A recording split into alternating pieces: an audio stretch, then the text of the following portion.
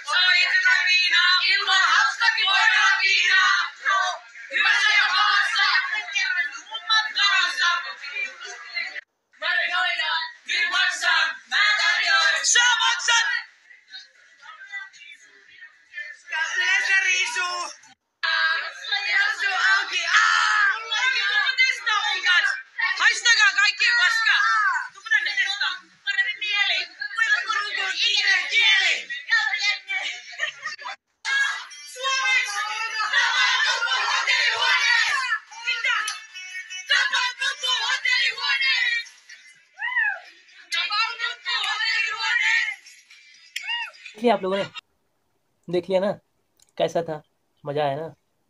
मज़ा आया होगा, क्योंकि लड़की तो लड़का तो नहीं था। लड़का, हम जैसे लड़के को तो आप लोग बोलते, कौन है तू बे? हट निकल। लड़की हो तो देखते हो ना। तो कमीनो चल, पहले लाइक कर देना मेरे दोस्त। लाइक करते नहीं आप लोग। लाइक कर दो वीडियो को, मेरा चैनल अब जानते हो कितना सब्सक्राइबर है? रो रो नहीं रहा हूँ। हंस रहा हूँ यार। आप लोगों के सामने रोऊँगा थोड़ी ना यार। आप लोगों का दिल दुखाना नहीं चाहता हूँ मैं। ओके ये है प्रधानमंत्री। हाल ही में इन्होंने एक पार्टी की थी। पार्टी में आप तो देख ही चुके हो, डांस कैसा था? नागिन डांस कर रही थी। नागिन डांस सॉन्ग नहीं था बट सॉन्ग डाल दिया तो नागिन डांस हो जाता मेरे दोस्त। नागिन डांस सेम थी, नागिन डांस ऐसी होती है। मिस करके लो तो नागिन डांस बन गई। ओके ओ उसके बाद इनका तो बहुत ही बवाल हो गया। इनके जो विपक्ष थे, जो सत्ता में नहीं थे, ये सत्ता में है। विपक्ष थे, विपक्ष बोल रहे हैं कि ये ड्रग्स और ड्रग्स और क्या बोलते हैं उसे? दाड़ो बदाड़ो दाड़ो नहीं। अरे वो जान। क्वार्टर पी हुई रखी थी। पी हुई रखी थी और ड्रग्स का सेवन कर रही थी। इनका विपक्ष का कहना है कि ये ड्रग्स ड्रग्स भाई इलीगल है। ड्रग्स और इसका क्वार्टर का सेवन क्या बोलते उसे यार? क्वार्टर ही बोलेंगे ना यार। उसका सेवन कर रही थी। मतलब विपक्ष का कहना है कि करी थी। इन्होंने बताया सोशल मीडिया में तो इनका जवाब सुन लो कि इनका कहना है कि मैं ड्रग्स या कोई किसी की सेवन नहीं करी थी मैं सिर्फ़ पार्टी कर रही थी दोस्तों के साथ अपने प्राइवेट अपार्टमेंट में इतना ही कहना था तो सुन लो भाई इनका line These videos are private, Senna Marin has told reporters. I'm displeased they have been spread out to the public. I was spending an evening with my friends, partying, dancing, and singing. A journalist asks were there any intoxicants used. Alcohol, the Prime Minister says. Drugs, another reporter asks. Not to my knowledge, says the leader. सुन लिया समझ में नहीं आया फिर भी आप लोगों को तो वो कहते हैं ना क्या कहते हैं वो हम जैसे छोटे आदमी का आदमी को आप लोग समझते नहीं हो इन कमी नहीं हो सॉरी गाली निकल जा रहा है कैरी मिनाटी नहीं हूँ मैं भाई फिर भी बनने की कोशिश कर रहा हूँ आप लोगों को बिना गाली का समझ में नहीं आता है कैरी मिनाटी बहुत अच्छा लगता है। हम जैसे शरीफ आदमी को बिल्कुल समझ में नहीं आता आप लोगों को। हमारा वीडियो देखते ही नहीं आप लोग। देखते जाओ मेरे दोस्त। ओके चाचा अंकल हो तो नमस्कार। भाई बंधु हो तो दोस्त। ओके आगे चलते हैं। इनका जो देश है, फिनलैंड। छोटा देश है, इंडिया से छोटा। इनका बॉर्डर जो रख, लगता है, वो किससे लगता है? इसका बॉर्डर तो साझा होता है, क्या बोलते हैं उसे? अटैच बॉर्डर किससे जुड़ा हुआ है?